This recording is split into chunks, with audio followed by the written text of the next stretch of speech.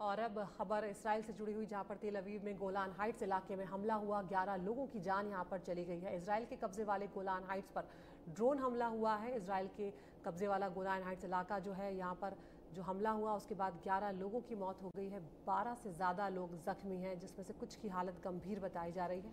Israel की सेना ने ये ड्रोन हमला मजदर शम्स इलाके में एक फुटबॉल के मैदान में गिरा है। ये जानकारी दी, जिससे कई लोग हताहत हो गए हमले के बाद मैदान का एक इलाका बुरी तरह से ध्वस्त हुआ नज़र आया।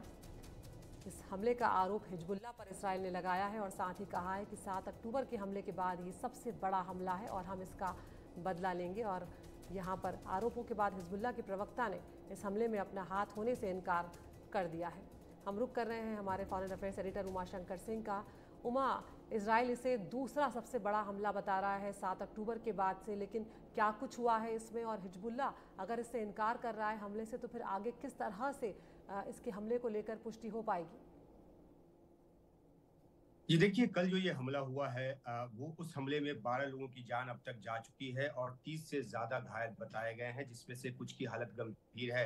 ये जो हमला हुआ है, वो एक ऐसे गाँव पर हुआ है जो कि जिसमें कि द्रुज समुदाय के लोग रहते हैं, जो कि अरबिक भाषी हैं, जो पहले सीरिया के नागरिक हुआ करते थे, लेकिन उन्नीस सौ सड़सठ में गोलान हाइट्स पे जब इसराइल ने कब्जा किया और उन्नीस सौ इक्यासी में इस इलाके को जब एनेक्स किया तो उसके बाद से इसराइल का नियंत्रण जो है इस इलाके में है। अब इस इस इलाके में जो हमला हुआ है, जिसमें कि अरबिक भाषी लोगों की जो जान है, वो गई है, उसको लेकर इसराइल का ये कहना है कि अरबिक भाषी और मुसलमानों को जो है, वो निशाना बनाया गया है और इसके लिए ज़िम्मेदारी जो है, वो हिजबुल्ला पर थोपी गई है। लेकिन हिजबुल्ला के प्रवक्ता ने कल देर रात को इस बात का खंडन किया। लेबनान की सरकार ने इस हमले की भर्सना की है और हिजबुल्ला की तरफ़ से ये कहा जा रहा है कि ये इसराइल का जो एंटी एयर डिफेंस सिस्टम है उस उससे जो जो मिसाइल दागी गई, उसी का एक हिस्सा जो आकर कर गया है। तो ये आरोप प्रत्यारोप अपनी जगह, लेकिन ये बहुत बड़ा हमला है, क्योंकि इतनी बड़ी तादाद में जो लोग हैं, वो मारे गए हैं। और इसके बाद जो इसराइल के प्रधानमंत्री, जो कि अमेरिका के दौरे पर थे, उन्होंने अपने दौरे को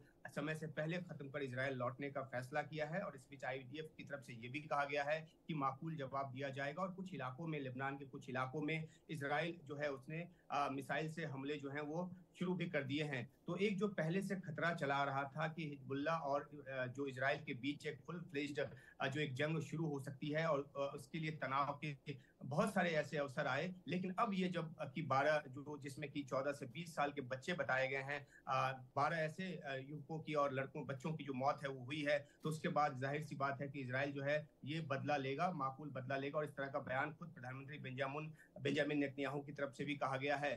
तो एक बड़ा हमला जो कि लेबनान की दिशा की तरफ़ ऐसे किया गया।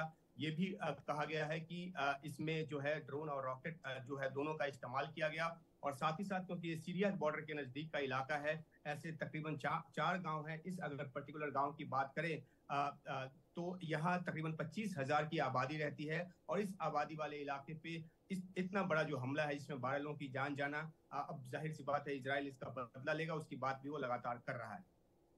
बहुत बहुत शुक्रिया उमा शंकर इस तमाम जानकारी के लिए। तो इसराइल के प्रधानमंत्री नेतन्याहू अभी अमेरिका के दौरे पर हैं, लेकिन वो जल्द अब इस दौरे को छोटा करके लौट रहे हैं।